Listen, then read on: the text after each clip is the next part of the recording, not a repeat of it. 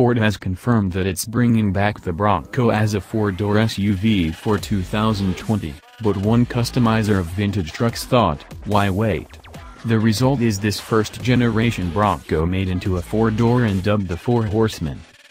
The build is by Maxlider Brothers Customs, a Chicago area shop that specializes in Broncos.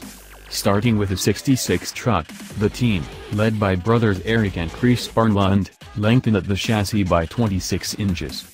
A supercharged 5.0-liter Coyote V8 from Roush Performance supplies the power, 600 horses worth, four-wheel disc brakes by Wilwood keep a leash on the big brute.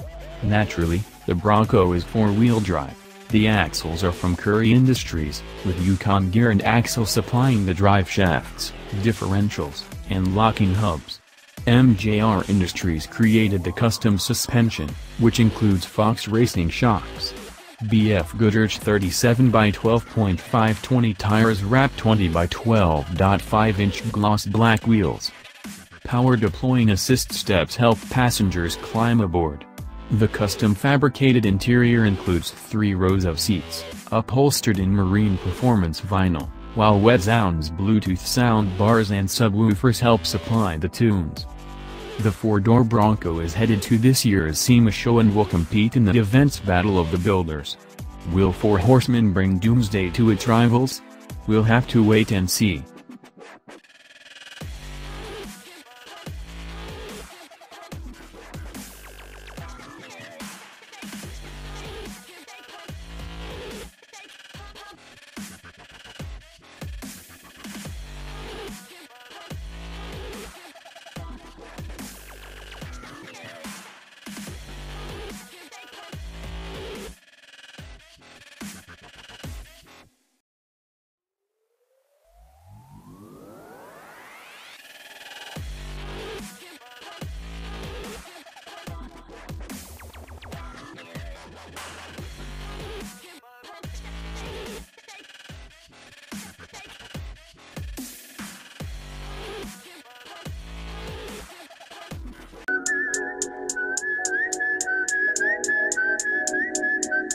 Rob Stone, two damn phones, Babylon's came.